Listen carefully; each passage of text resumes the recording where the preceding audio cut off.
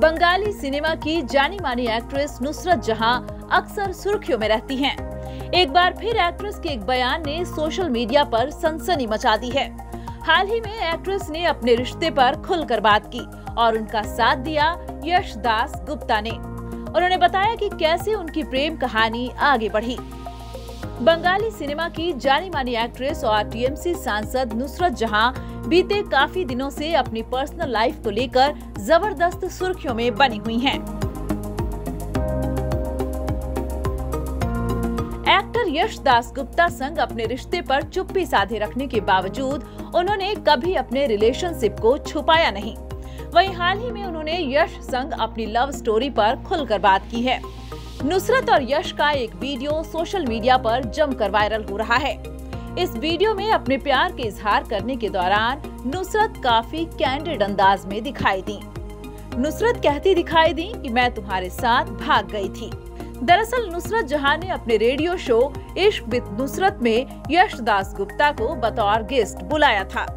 नुसरत ने शो पर यश को मेरी च्वाइस कहते हुए इंट्रोड्यूस किया। इस दौरान बातचीत के बीच यश ने नुसरत से पूछ लिया कि हमारे रिश्ते की शुरुआत कैसे हुई। इस पर नुसरत ने जवाब देते हुए कहा कि मैं तुम्हारे साथ भाग गई थी। ये सुनकर यश चौंक गए और बोले, तुम भाग गई थी? ये सुनते ही नुसरत ने कहा, नहीं नहीं, मैं तुम्हारे साथ फरार हो गई। ये सही शब्द है। नुसरत का कहना था कि इस एपिसोड का सब्जेक्ट यही है मेरा प्यार, मेरी च्वाइस मैं तुम्हारे संग प्यार में पड़ी, ये मेरी च्वाइस थी, और बाकी सब इतिहास है। हालाँकि नुसरत ने शादी पर सस्पेंस जारी रखा है।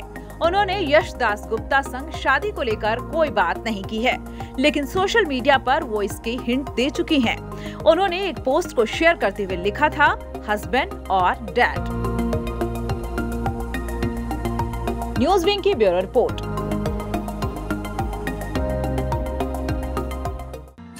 Uh, Girirdi is a small place and uh, we have like very less facilities in terms of you know education and this kind of infrastructure. It came to our mind that basically uh, there should be good opportunities for the students of Girirdi, those who are leaving the town and going outside for you know studies, their higher studies and their education. I wanted my son to start with the coding classes. So I researched it online, I got through all the reviews and everything then I got in touch with the White Hat representatives and I was very happy with the progress and all how he was doing. So then I thought that why not to implement it in our school so that all the students are able to learn, you know, this thing. I started coding because we can make our uh, thoughts real. We can interact with the computer. White Hat Junior is helping me to create a web browser. And I think uh, on this part, White Hat is actually leading, uh, you know, on this, this coding platform. It is definitely a very good platform and one should implement in every school.